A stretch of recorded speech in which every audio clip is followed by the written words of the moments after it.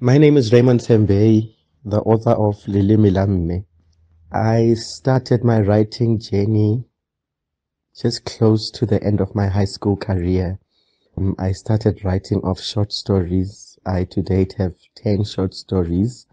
All of them cover different genres and different topics, all of which are very current to the lives we are living today.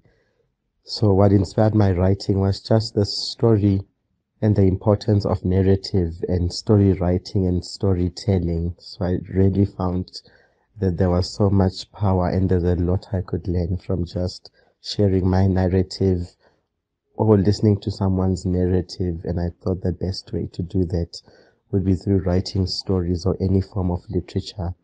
I have been inspired to write my past teachers, my past lecturers, and a few authors also have inspired my writing. The likes of Ndate KDP Maphalla, Ndate Nhlanhla Maake, Ndate Tili Thaba, all those people have inspired my writing. To aspiring writers, I want to say it's not always easy.